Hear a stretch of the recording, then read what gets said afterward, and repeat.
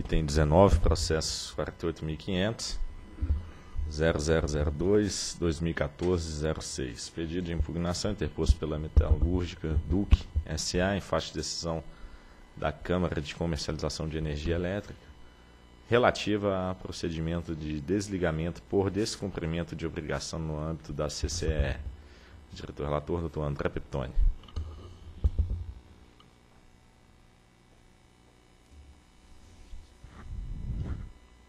Consumidor livre metalúrgica Duque, a Metal Duque, deixou de aportar as garantias financeiras no âmbito da CCE em julho de 2013. Verificado o descumprimento à obrigação pelo agente, a CCE então iniciou o procedimento de administrativo de desligamento em 24 de julho de 13. Antes do julgamento, a Metal Duque cumpriu suas obrigações regularizando a situação na CCE. Em setembro, todavia, voltou a ficar inadimplente quando não pagou a contribuição associativa referente a agosto de 13.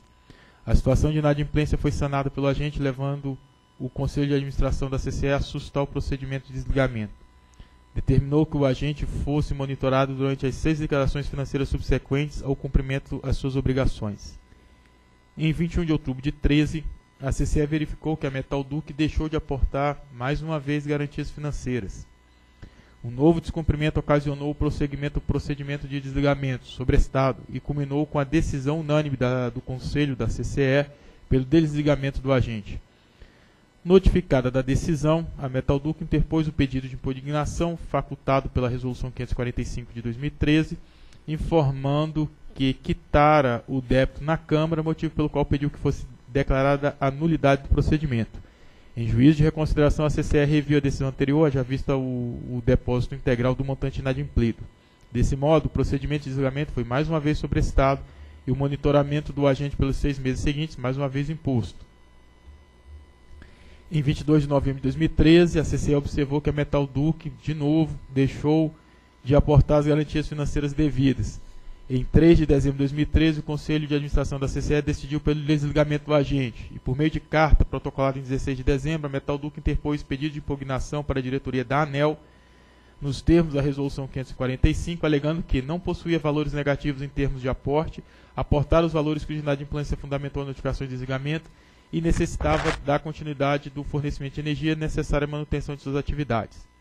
Sustentou impugnante que a decisão do Conselho da CCE, na 77 77 reunião, realizada em 3 de dezembro de 2013, devia ser cancelada pela desproporcionalidade entre o inadimplemento verificado e a penalidade imposta em 26 de dezembro, a CCR remeteu à ANEL a correspondência 3.473 de 2013, encaminhando os autos à apreciação do pedido de impugnação. E pelo parecer, mil, pelo parecer 157 de 29 de abril de 2014, a Procuradoria da ANEL opinou pelo conhecimento e não provimento do pedido de impugnação apresentado pela Metal Duque ao relatório. Procuradoria. Ah, Trata-se aqui de de um pedido de impugnação por esse agente em face da decisão do Conselho da CCE de desligamento. Esse caso foi examinado pela Procuradoria no parecer 157 de 2014. E aqui ficou caracterizado na instrução foi diversas vezes o agente se torna inadimplente e aí é intimado, ele tem 10 dias para se defender e no, durante esse curso desse prazo de 10 dias, ele, ele fez o aporte da, da garantia e o processo era sobrestado. Isso aconteceu duas ou três vezes, até que em dezembro ele foi mais uma vez notificado, não fez o, o depósito nesses 10 dias, o conselho se reuniu e fez o desligamento. E após essa decisão de desligamento, ele apresentou o presente pedido de impugnação e informou que tinha feito o, o pagamento que a CCE entendeu, assim como a Procuradoria, que era um pagamento a destempo, portanto, seria regular o, o processo de desligamento.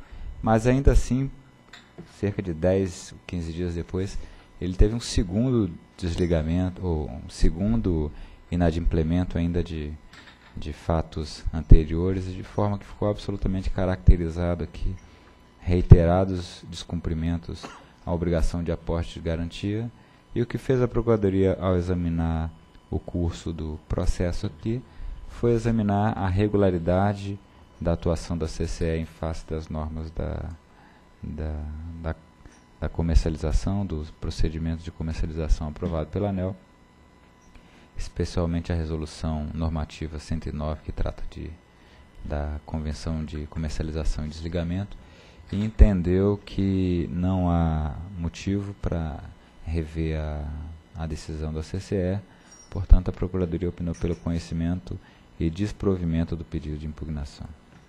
Esta relatoria conhece do pedido de impugnação e que atendidos os critérios de admissibilidade que estão estabelecidos na Resolução 545 de 2013.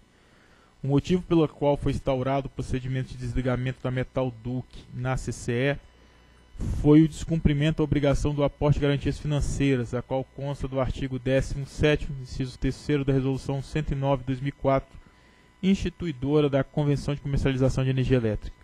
O não aporte de garantias financeiras pela Metal Duque foi verificado diversas vezes desde julho de 2013, sempre quitado pelo agente em atraso, até que em 3 de dezembro o Conselho de Administração da CCE decidiu pelo desligamento do agente. Ressalve-se que, por força dos artigos 9 e 10 da Resolução 545 de 2013, o procedimento de desligamento somente é extinto ou arquivado após o decurso de seis ciclos de contabilização e liquidação financeira subsequente ao pleno adimplemento das obrigações.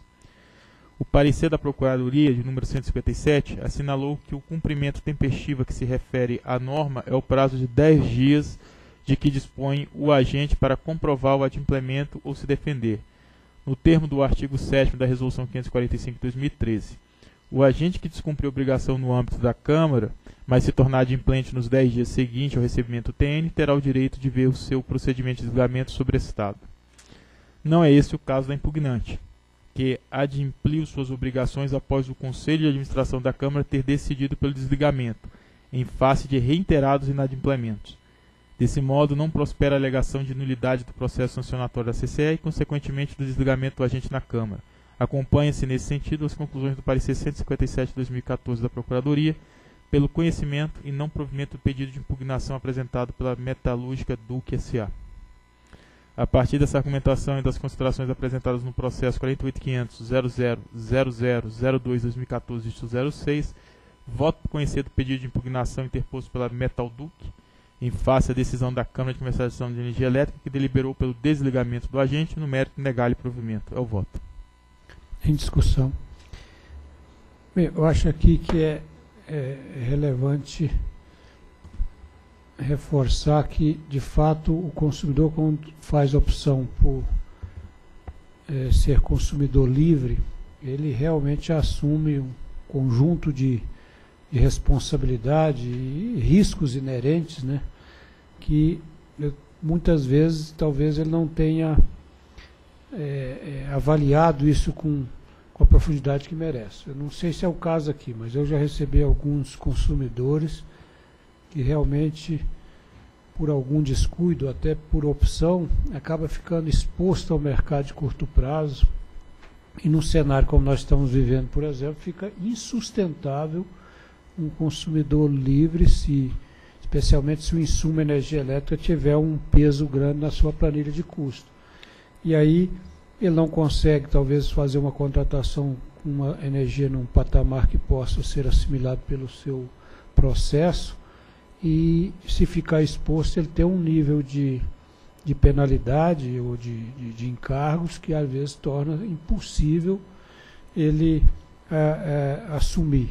E aí muitos acham que a, a o retorno à concessionária é uma, um direito dele, uma obrigação da concessionária. Não é bem assim. Claro que ele tem o direito de retornar, mas tem lá uma carência, tem toda uma regra que ele precisa observar. Então eu faço esse comentário aqui no sentido até de reforçar uma alerta que o consumidor livre, ao fazer essa opção, ele tem que ter muito cuidado e tem que conhecer as regras do mercado livre, que não são regras muito simples. Né? Então é, é um reforço na linha de que tenham atenção para isso, porque senão começa, no caso aqui, o desligamento de um consumidor, imagino que causa um transtorno muito grande e muitas vezes é, ele não conseguindo com a distribuidora, recorre à justiça, isso cria uma perturbação ao processo que é indesejável. Então é só reforçar que é um direito dele, claro, buscar essa opção, mas ao buscar ele precisa ter consciência que tem que gerir esse assunto de uma forma muito mais cuidadosa do que um consumidor cativo. É, na verdade, viu, meu, eu acho que além de tudo, muitos desses casos, acredito que eh, eles não foram muito bem orientados ou não tem uma assessoria boa para acompanhar. A empresa acha que é que nem a distribuidora normal de comunicativo vai ficando, não tem outras obrigações. E tem, né? Quer dizer, um uhum. contrato vence, ele não, não consegue fazer a contratação a tempo e a hora e, e fica exposto mesmo, né? E aí decorre disso, quer dizer, na verdade ele, pelo jeito, não tinha uma grande, um grande controle sobre, sobre os contratos deles, que uhum. foi em três meses seguidos que ele ficou inadimplente, né? É isso. Ok. Em votação. Voto com o relator. Também voto com o relator. Proclamo que a diretoria decidiu por conhecer do pedido de impugnação interposto pela Metalúrgica Duque S.A. e faça a decisão da CCE, que deliberou pelo desligamento do agente e no mérito negar-lhe provimento. Próximo.